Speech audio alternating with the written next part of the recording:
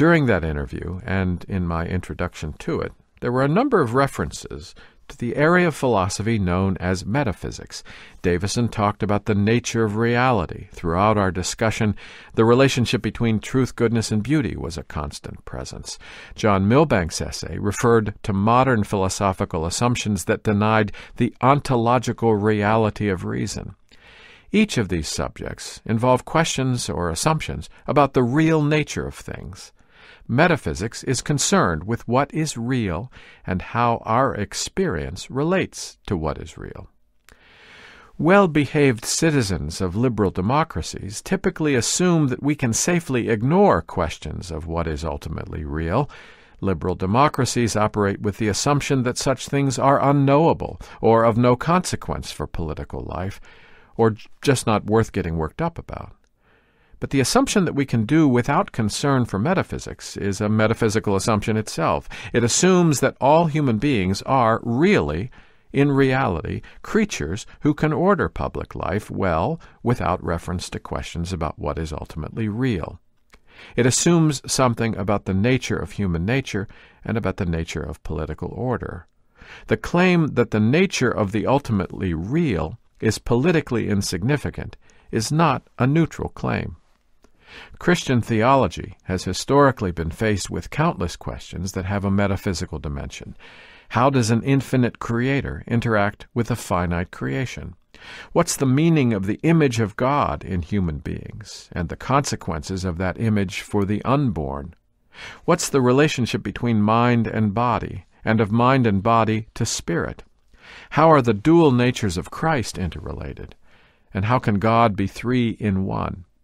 What's the meaning of I am as a defining name for God and of Logos as a defining name for Christ?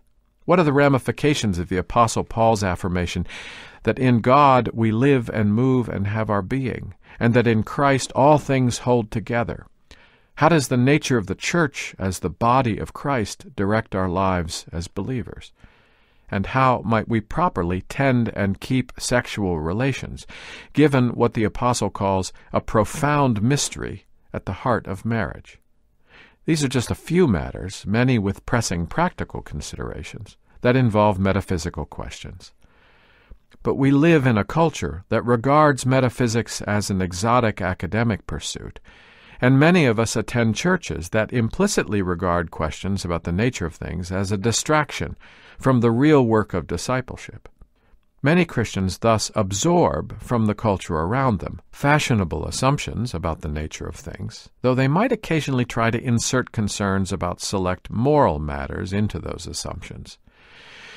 There has in recent years been something of a revival in Christian metaphysics, inspired in part, it would seem, by the obvious cultural dead end of modernity and the subsequent retrieval of Christian theologians and philosophers, including many political philosophers, of many pre modern claims and arguments about the nature of things.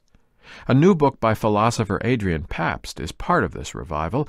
It's notably part of a series of scholarly books defiantly called interventions, books intended by the editors of the series and by the authors to question the accepted terms of discussion that dominate various disciplines and thus reinforce the nihilism of our age.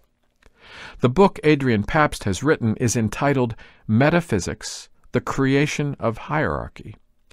He begins his book by saying that it, quote, seeks to retrieve metaphysics and reveal its theological nature, close quote. In that short statement of purpose, Pabst embeds his argument that individual things are what they are, that they have the nature that they have, because of their relationship to the triune God who sustains them in relationship to all other individual things.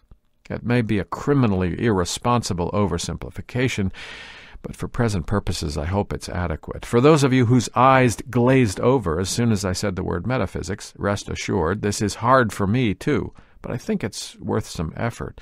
It's worth the effort because most, if not all, of our peculiarly modern disorders are tied to metaphysical confusion one way or another.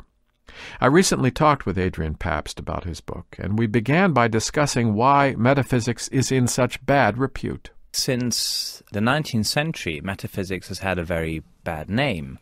arguably uh, beginning with um, the sort of positivist revolution inaugurated by, by Auguste Comte in, in France, um, but also, of course, um, extending to thinkers as varied as Nietzsche, uh, and then in the 20th century, uh, Heidegger, uh, a lot of French thinkers like Derrida, Deleuze, uh, more recently Marion.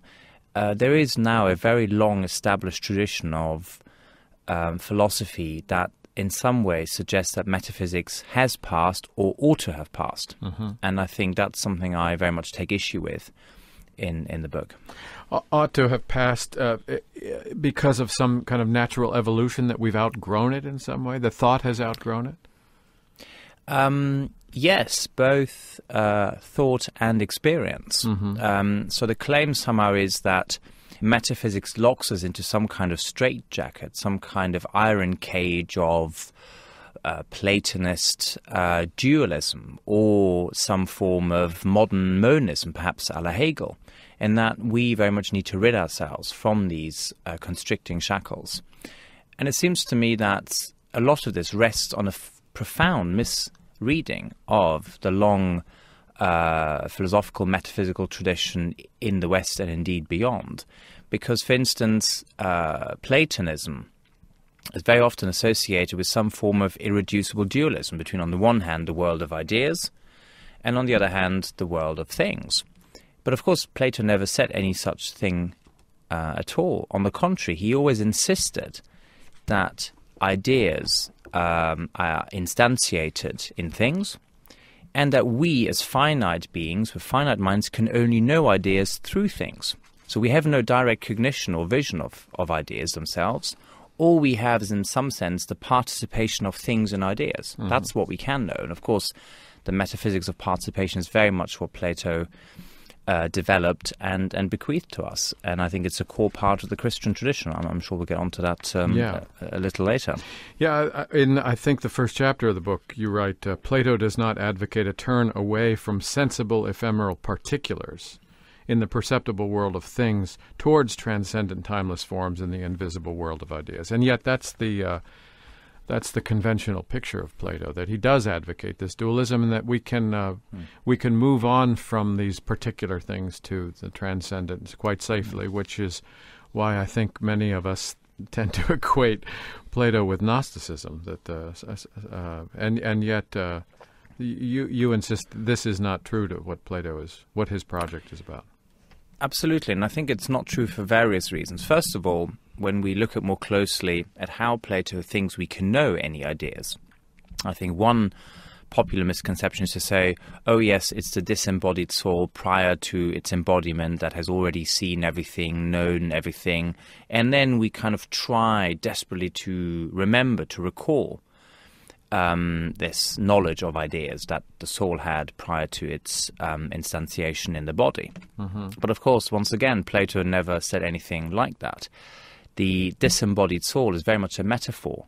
And as we all know, metaphors are not to be interpreted literally. Indeed, none of Plato's metaphors, analogies, myths, or any other uh, figures of speech uh, should ever be interpreted literally. In fact, nothing should ever be interpreted literally, zero, period. Mm. Um, and we know this also from the biblical tradition. So I think it's very dangerous to have a literalist reading. Secondly, when Plato talks about recollection, uh, the Greek word, of course, is anamnesis. And anamnesis doesn't mean remembering something which we once knew but have since forgotten. Anamnesis, in most of Plato's texts, uh, the middle but also the later dialogues, actually means something like uh, being awakened to, being alerted to. So when we see uh, beauty, what we're being alerted to is the idea of beauty. So when we see something beautiful, we, we are in some sense awakened to this idea of beauty. Same with the good, same with justice, and so on. And, and thirdly, I think um, the, the key point in Plato is to say that um, we never completely transcend the material uh, embodied world. Even when we have knowledge of the good, it's in some way still um, with reference to the physical world. So let me give you another example: the famous myth of the cave, you know, about which you know, more more books have been written, perhaps entire libraries have been written by now. I think the key argument in, in that myth of the cave is that when man frees himself from the false ideas to do with shadows in the cave and finally escapes and leaves behind a state of ignorance and comes to some kind of knowledge, he discovers that the author of all things is the sun. Now, the sun, of course, is something which, even if we can never fully uh, glimpse it or perceive it, because we simply cannot be equal to its to its brightness, is still something which is also material. It's not just immaterial light. It's also something which still has, in some ways, a material form or appearance. So even when we discover the author of all things, we don't have a, an abstract cognition that is independent of the world. I think it's very much part of our universe. And in our finite mortal condition, that is in some sense, all that's available to us. So the idea that somehow once we've had cognition, we can sort of leave behind the material world because it's really corrupt, uh, degenerate, uh, is holding us back, I just don't think corresponds to a, a proper reading of Plato. Uh, maybe you could explain a little bit the, the, the idea of the, the metaphysics of participation and how, in the first chapter, you talk about the the the dilemma that was present in, in pre-Socratic philosophy of the the problem what, what we know today is the problem of the one and the many of how universals and particulars can be related and and various uh, attempts to solve this problem. Um, is is this idea of participation uh, a, a, way of solving it? And and what does Plato have in mind? And and then if you could also, how, how does this fit with with a Christian understanding of of, uh, of God as Creator? Mm. Yes, I think participation is a key concept or, or, or, theory or paradigm to try and understand how it is that universals and particulars, in some mysterious way, relate to to to one another. Um, another way of saying this is to say that our experience of the world is very much one of unity and multiplicity at the same time. So we all have at different moments in our lives, I think, a sort of inchoate sense that there is indeed one reality out there that we all inhabit, but that that reality also is a multiplicity of perspectives and therefore cannot be reduced to just a single vantage point. But it doesn't. Can... But it doesn't seem entirely chaotic, given that multiplicity. Exactly, and I think it's to try and understand this idea that there is some fundamental order, some fundamental order or direction of things. That there's some sort of telos towards which we all, in different ways, um, are oriented. So. Uh, Plato would say it's a, it's a natural desire for the supernatural good, uh, or, or, you know, I'm, I'm paraphrasing, mm-hmm. but that's sort of what, what he would say. Now, what I'm trying to argue in the book is that uh, participation is indeed key to making sense because it explains, in some ways, how particulars can partake of universals, so how something can be said to be beautiful, because in some ways it participates in the idea of beauty. But the other key argument I'm trying to make is that we can't really understand how it is that particulars partake of universals unless we understand that universals are always already relational. And I think this is quite a, an important part of the, the Platonist framework that perhaps hasn't always been sufficiently accentuated. That is to say, for Plato, it's not just the case that somehow material things in some mysterious way participate in, in immaterial ideas. Is that the ideas themselves are relational. That is to say, they give themselves ecstatically. They, in some ways, if you like, are transcendent, truly speaking. And uh, unlike Aristotle's prime mover, the good is, as Plato says in the Republic, the author of all things. It's a creative principle. So the good, in some sense, likes to share uh, its goodness with other things. So the good endows all other forms with goodness and indeed endows all things with goodness. So everything has a share of the good because that's how the good is. So relationality and participation are very much, if you like, two sides of the same coin. Hmm. And this coin is a, a creative principle. And I think only the biblical tradition, only Judaism and Christianity can fully make sense of why the good would be creative. Because, uh, because of course, the big problem in Plato is that the good is, in some sense, impersonal, anonymous, and also matter just pre exists. Mm-hmm. And neither really captures the nature of the universe. So the, the biblical legacy is absolutely central in explaining how it is that all things come from God and tend towards God. So the good or the beautiful are are not stark and uh, infertile realities that are simply abstracted. But again, you there's you use the term ecstasy. There's a, there's an ecstatic mm. expression and a, and a uh, a promulgation in some way. Uh, yeah. that, that that that is, and and the the Christian account gives us a is is it the personality of God that that gives us uh, resources that Plato didn't have? Yes, I think it's the personal nature of the creative principle that's so um, so crucial and really changes everything, and also the idea that the personal creative principle creates everything out of nothing, including matter. Mm-hmm. Because, of course, Plato was unable to explain why there would be anything like matter, why matter would be in some ways predisposed towards receiving form, and so on and so forth. And here, I think it has to be said that Aristotle really made a breakthrough when he spoke of act and potency. That he spoke of matter in terms of potency and form in terms of act, and the interaction between the two I think, explains much better how things are the way they are. So I think Plato, if I can be in some ways simplistic, uh, I think Plato is very good on, in some ways, why things are. Aristotle is very good on how things are, but ultimately neither really explains it fully, and you need a, a biblically grounded Christian account uh, to really make sense fully of how and why things are the way they are. Mm. And, and the focus of the book, of course, is on individuation, so how and why things are all in some ways unique and individual. But my point is that they are so because they are relational. And, and I think it's that relationality which I find more in Plato than I find it in Aristotle. So individual things can't be understood individualistically, as it were. Exactly. Um, uh, because I think so much of modern thinking to, in some ways, make a, a huge leap in time from from uh, antiquity to to the modern age. So much of modern thinking focuses on individual substance, individual essence, or some variant thereof, and and I think it always comes up against a very fundamental and simple question, which is, well, why? Why would things be individual in the first place? Mm-hmm. What makes them individual? Because much of modern thinking explains in great detail how individual things generate other individual things, and that's, of course, very, very important. But there's little in critical engagement with why they're individual in the first place. Mm-hmm. And most modern thinkers just posit it as some kind of given. And I just don't think that that adds up.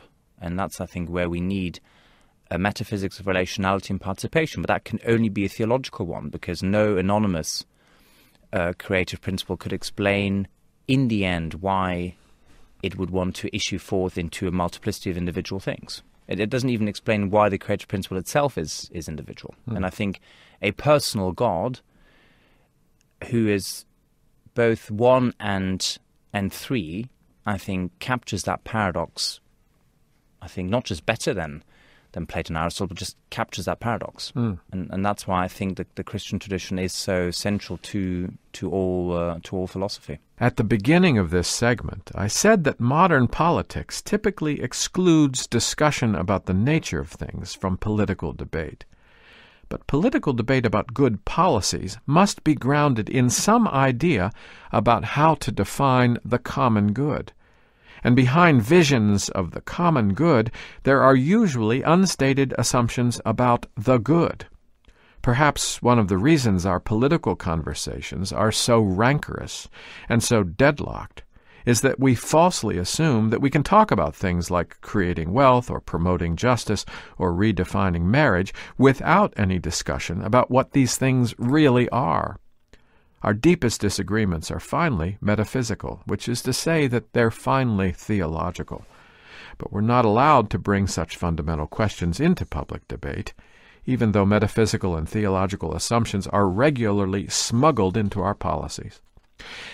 As a lecturer in politics at the University of Kent, Adrian Pabst is profoundly concerned with the practical consequences of metaphysical assumptions and believes that the practical problems we face will not be ameliorated without a more adequate and truthful framework of understanding. Take economics, for example. The Italian economist Stefano Zamagni, who has written a lot on civil economy and, and has shaped the, the most recent uh, social encyclical Caritas in Veritate, um, has said very um, correctly, I think, in a in a recent uh, chapter that the, the common good is not just aggregate good. It's not just the sum total of all individual goods. The common good is, in some sense, an objective reality that we are all part of to varying degrees. And so that when one person isn't flourishing, in some sense, no one is. Now, once again, people might be uh, saying, well, isn't that a little bit naive or utopian? You know, how, how can you possibly achieve uh, sort of mutual flourishing across the board? But the point is here not to say that we are talking about equal outcomes. What this idea of common good, in a very strong substantive way, is all about is to say it's not about majorities versus minorities. It's not the utilitarian calculus, you know, the greater happiness of the greater number. It has to involve uh, something that doesn't violate anyone's dignity. So if anyone's dignity is violated, and one cannot, one cannot possibly speak of a just society, of a just uh, politics, or indeed a just economy. And in that sense, we are really all part of this common good. So it may sound very abstract, but in the end, it's actually quite concrete. It's about the dignity of the person, it's about human flourishing, and these are not the same things as utility or happiness. Hmm. In the second chapter of the book, you, you make reference to uh, Benedict XVI's famous uh, Regensburg Address, which many people don't know that the title was actually three stages in the program of de-Hellenization, which is somewhat cumbersome. But you you suggest that he uh, he provides a kind of vision of what you call an unrealized potential for an alternative modernity. And I won't read the rest of the sentence, but I assume you mean by alternative modernity that that modernity did emphasize the dignity of the individual, as you've just been talking about. That that modernity did want to uh, affirm the reality of uh, of the good in the individual, but it but it went about it. Uh, the, the the need we have for an alternative modernity is because modernity, as we actually have lived through it, uh, affirmed that dignity in in a, in a faulty way. Yes, um, I think I think what you've just said is possibly the most charitable interpretation of, of modernity, if I may say so. yes, and, and perhaps that's good because we don't want to dismiss all of its you know all of its achievements and all, all the progress that has indeed. I've I've um, never been so charitable toward modernity, so believe me. well, it's it's uh, it's curious that, that my book has, has generated this, but anyway.